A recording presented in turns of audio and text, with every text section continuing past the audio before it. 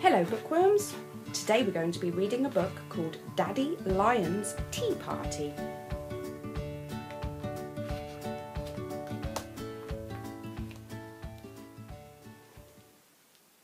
One bright sunny day, Daddy Lion reached for his favourite teapot and smiled at the lion cubs. Today is a perfect day for a quiet little tea party, he announced. But the three lion cubs looked doubtful. They liked big, noisy parties, not quiet little ones. Can we at least invite the chimps? they asked. Daddy Lion shook his mane. I don't think so, he said. Those chimps are always monkeying about.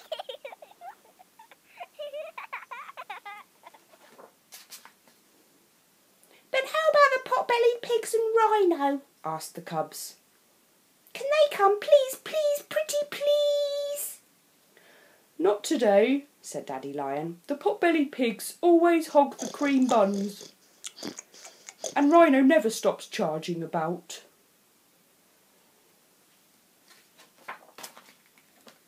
Then what about all our other friends? asked the cubs. Can they come instead? Well, my dears, sighed Daddy Lion, they could, but you know how all the other animals normally behave. Crocodile snaps at everyone. Sloth only turns up when all the other guests are gone. And as for Skunk, that awful skunk. He always poo pong stinks the whole place out.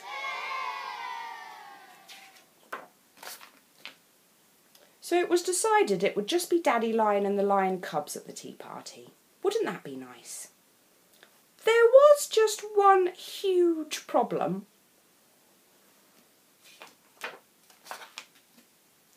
Elephant, who was all ears, had overheard the whole thing.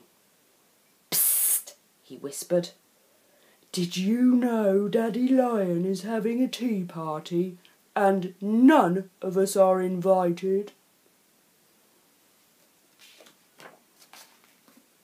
But Ostrich, for obvious reasons, was only half listening. So when she shook the sand from her ears, she told the parrots, who were all talk, what she thought and what she heard the elephant say.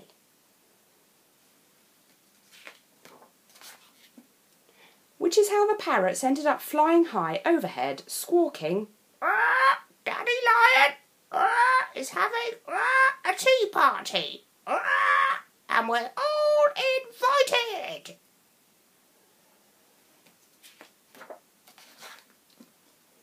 And which is why, just as Daddy Lion lifted his favourite china teacup daintily to his lips, the lion cubs let out a mighty cheer. Yippee!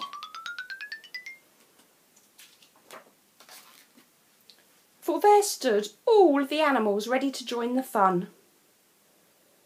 Well, said Daddy Lion, now you're here, you might as well all sit down.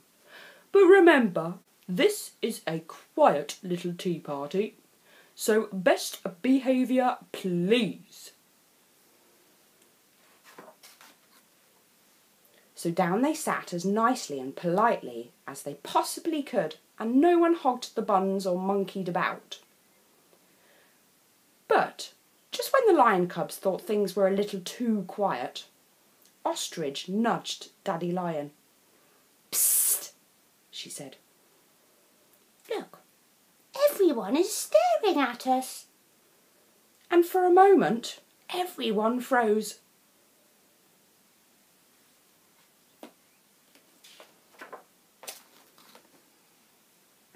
Ugh, zoo of visitors, muttered Daddy Lion. I think we should all ignore them and just behave as we normally would.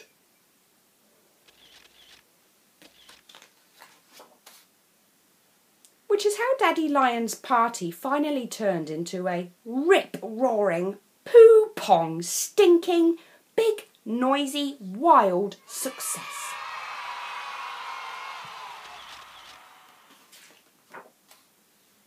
And that is why, the very next day, the lion cubs asked, Can we please have another quiet little tea party just like yesterday's?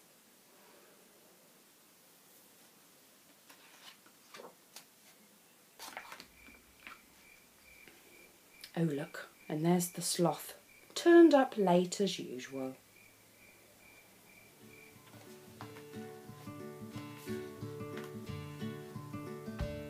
And that book was written by Mark Sperring and illustrated by Sarah Warburton.